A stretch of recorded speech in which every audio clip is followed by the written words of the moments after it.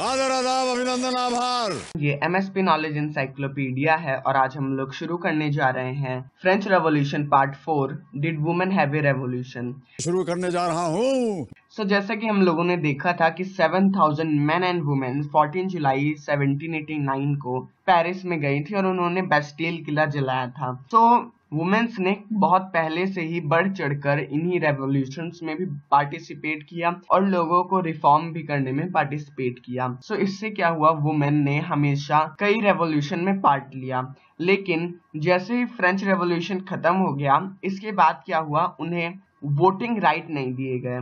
उन्हें ना तो वोटिंग राइट दिए गए ना ही वो मिनिस्टर बन सकती थी इलेक्शन के थ्रू यानी उन्हें इलेक्शन भी लड़ने नहीं दिया जाता था। सो so, इससे क्या हुआ? उन लोगों के अंदर डिप्रेशन का भाव आ गया। और सिर्फ़ नॉबिलिटी स्टेज की जो वुमेन्स थी सिर्फ़ वही स्कूल जा सकती थी। बाकी थर्ड स्टेट वालों के लिए कोई भी स्कूल का टेंशन नहीं था।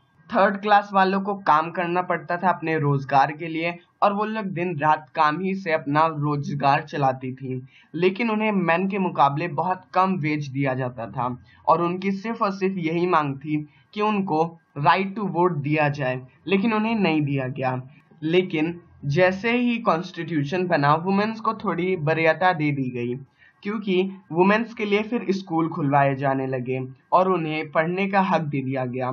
उनकी मर्ज़ी से ही मैरिज की प्रथा चल गई और डिवोर्स को भी लीगल कर दिया गया और मैरिज को एक कॉन्ट्रैक्ट के तरह ले लिया गया।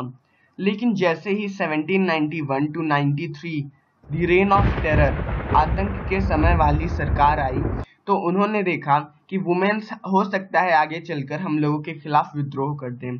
ये हो सकता है कि वो लोग राइट टू वोट मांगते मांगते हमारी सरकार को ही गिरा दें।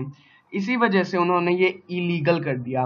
उन्होंने एक नया लॉ बनाया कि अब जो भी वुमेन अगर कोई भी क्लब बनाएँगी या फिर एक साथ जुटेंगे तो उनको मरवा दिया जाएगा।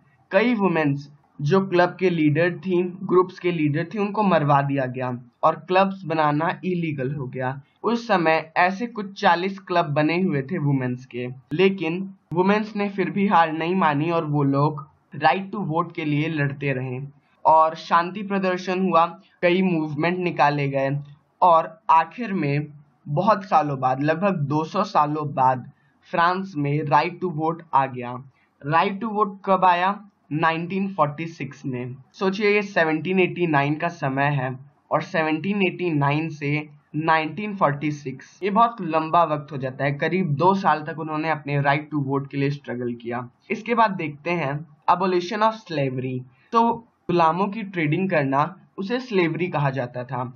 सो so, स्लेवरी में क्या होता था? एक ट्रायंगल बनते थे जिसमें काम करती थी यूरोप अफ्रीका और अमेरिका।